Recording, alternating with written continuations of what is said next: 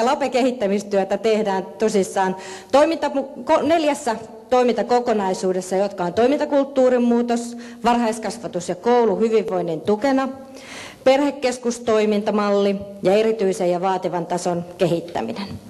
Kymenlaaksoon näistä kokonaisuuksista on valikoitunut perhekeskustoimintamalli ja erityisen ja vaativan tason kehittäminen. On toki ehkä tässä todettava, että mikään hän ei muutu ilman toimintakulttuurin vahvistamista ja muutosta, tai kun katsomme sitä lasten ja nuorten ja perheiden arkea, niin koulut ja varhaiskasvatus ovat isoja toimijoita sieltä, joten heitäkään siinä kehittämistyössä ei tietenkään voi sulkea ulkopuolelle. Laajasti voi ajatella, että lapemuutosta tekevät kaikki lapsiperheitä, nuoria, lapsia kohtaavat ammattilaiset, järjestöt, kolmannen sektorin toimijat.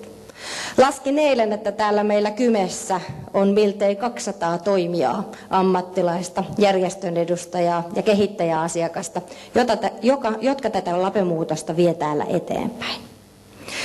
Täällä Kymenlaaksossa sitten meidän kehittämistiimi luotsaa tätä LAPE-kehittämistä.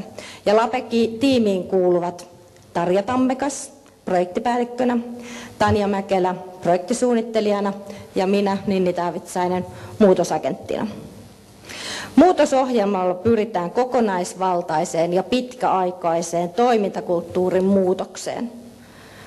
Lapessa uudistutaan, ei vain uudisteta, vaan uudistutaan toimijoina hallinto- ja ammattikeskeisyydestä lapsi- ja perhelähtöisyyteen.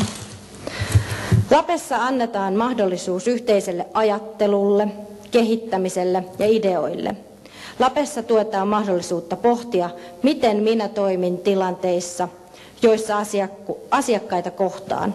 Miten saan sen luottamuksen, joita jokaisessa kohtaamisessa tarvitaan. Miten minä löydän oikeat verkostot perheiden ympärille tarkoituksenmukaisesti, oikea-aikaisesti. Ja miten rakenteet ja toimintamallit voivat tätä kaikkea kehitystä tukea. Lapessa kootaan tätä osin sirpaleista ja repaleista lasten ja nuorten palveluiden kokonaisuutta yhteen. Ja ajatuksena siellä, että lapset ja nuoret ja perheet saavat apua oikea-aikaisesti, helposti ja ilman kynnyksiä. Lapetyö kehittämistyönsä kautta lapsi- ja perhelähtöistä sisältöä myös sinne palvelurakenneuudistukseen, niin sote- kuin maakuntauudistukseen. Lapessa koulutetaan, verkostoidaan, innovoidaan, rakennetaan ja juurrutetaan pääsääntöisesti toimintamalleja, mutta myös niitä hyviä käytäntöjä. Välillä on hyvä muistuttaa itseämme, että ne palvelut, joita sitten sieltä maakuntauudistuksessa tai sote-uudistuksessa tai siellä kunnissa rakennetaan ja tehdään ja kehitetään, niin lapsille, nuorille ja perheille ne palvelut on ihmisiä, ne ovat niitä kohtaamisia.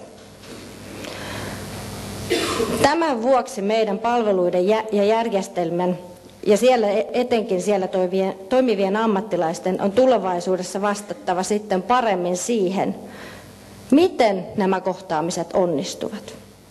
Miten voimme paremmin tukea lasta, nuorta ja perhettä? Miten vältämme pois lähettämisen kulttuuria? Miten vältämme sitä pomputtelua luukulta, luukulta, luukulta luukulle ja toiselle? Ja oikeastaan tästä eteenpäin voisinkin kysyä sitten, koska Lapessa on kyse integraatiosta, hyvin vahvasti toimijoiden yhteisestä työstä, niin kysyisinkin sitten meidän muulta hanketiimi, muuta hanketiimiä sitten vastaamaan, että miten ne integraation idut ja polkujen paljoudet sitten siellä kehittämistyössä näkyvät.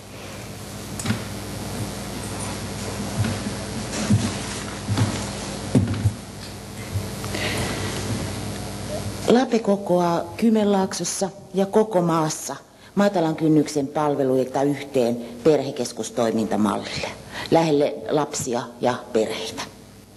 Perhekeskus on kohtaamispaikka ja palveluiden verkosto. Se verkostoi yhteen sotepalvelut ja tulevaisuuden sote- ja maakuntauudistuksessa kuntiin jäävät palvelut, varhaiskasvatuksen ja koulun, Järjestöt ja kolmannen sektorin toimijat ja seurakunnat on aktiivisesti mukana tässä meidän kehittämistyössä. Kun tuen tarvetta on, lapsen ja perheen ympärille kootaan heidän tarpeitaan vastaava verkosto. Ja palveluiden tarve arvioidaan yhdessä. Erityistaso tukee matalan kynnyksen palveluita entistä paremmin uusilla jalkautuvilla ja konsultatiivisilla malleilla ja näin vahvistaa sitä varhaisempaa tukea. Tämä integraatio näiden perhekeskustoimijoiden välillä ja perhekeskustoimijoiden ja erityistason palveluiden välillä on nyt iduillaan. Iso joukko perhekeskuskehittäjiä on Kymenlaaksossa näitä ituja kasvattamassa. Siellä on vanhemmuuden tuen ryhmää, eropalveluiden ryhmää, maahanmuuttajien tuen ryhmää ja eh, lähisuhdeväkivallan ehkäisyverkosto ja sitten jalkautuvien palveluiden verkosto. Ja näen, että, että näitä kehittäjiä istuu täällä, täällä nytkin tänään ja, ja tota, sitä yhteistä työtä jatketaan. Ja tiedän, että, että Etelä-Karjalassa tämä sama työ on myöskin käynnissä. Eli niistä polkujen paljuudesta yhteiseen työhön perhekeskustoimintamallin avulla.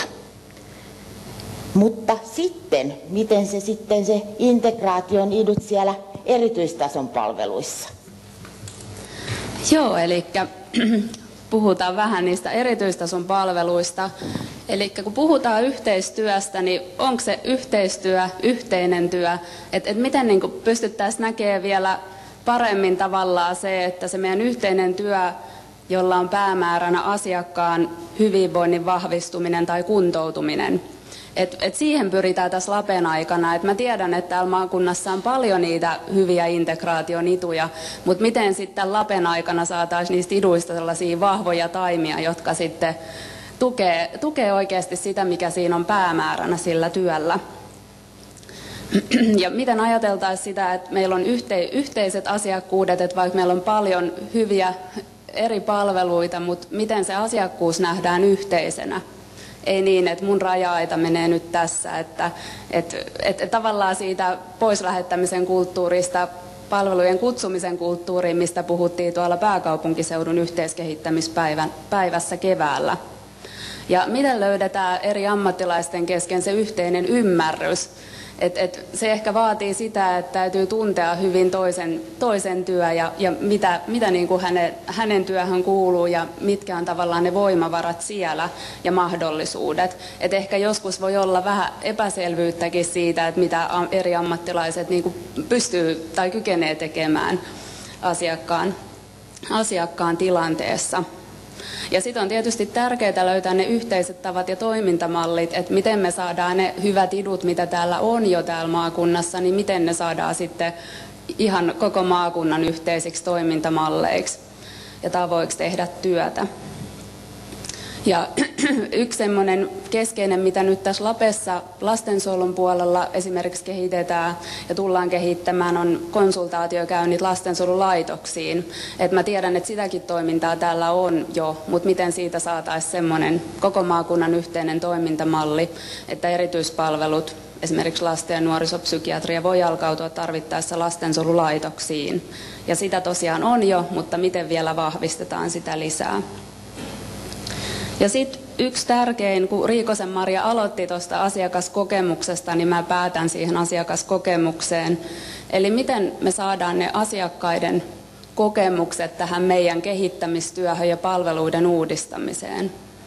Et, et se, mikä meillä on tavoitteena, niin on tosiaan se asiakkaan kuntoutuminen ja hyvinvoinnin vahvistaminen, niin miten me saadaan se heidän, heidän kokemustieto tähän.